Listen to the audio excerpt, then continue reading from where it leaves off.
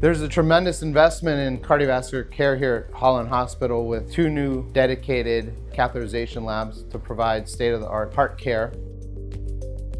Perform heart catheterizations, which are diagnostic procedures to assess a patient's coronary and peripheral blood vessels. Uh, but we also offer elective procedures when patients come in with more long-standing symptoms and that's not just for the heart, but also of the peripheral circulation, which could include PAD or blockages within the blood vessels within the legs. We will be able to minimize risks of heart catheterization, such as radiation dose with state-of-the-art technology, and radial access, which is performing heart catheterizations through the wrist. The number of patients we're able to discharge the same day is increasing greatly. We are excited about our new 10-bed heart and vascular short stay unit.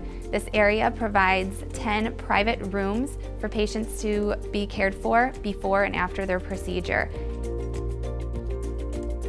This new unit, in conjunction with our extensive capabilities, allows Holland Hospital to be a destination for cardiovascular services on the lakeshore.